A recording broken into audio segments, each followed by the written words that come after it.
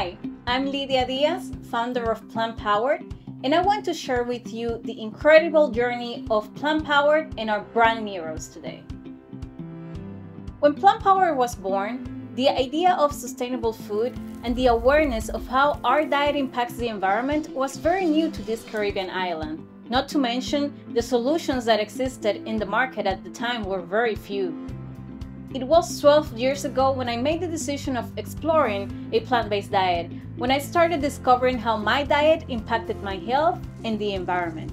And because I really enjoyed eating, I decided to recreate the products that I knew and grew up with, but in a plant based version. These are the delicious products that we commercialize today. This is how our story began with a simple dream to positively impact our world and create a healthier, more sustainable future using the food industry as our platform. We started this journey with the mission of showing consumers that eating a sustainable plant based diet could be an exciting and enjoyable experience.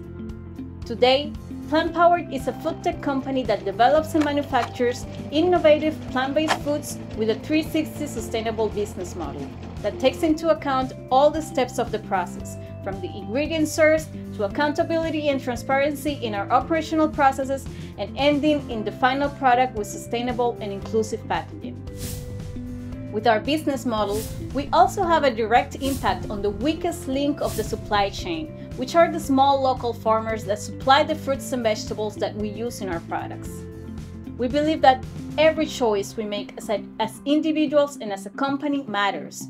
With every delicious dish we create, we aim to show the world that plant based food can be indulgent, exciting, and full of flavor. At Plant Power, we envision a future where sustainability, kindness, and compassion lead the way.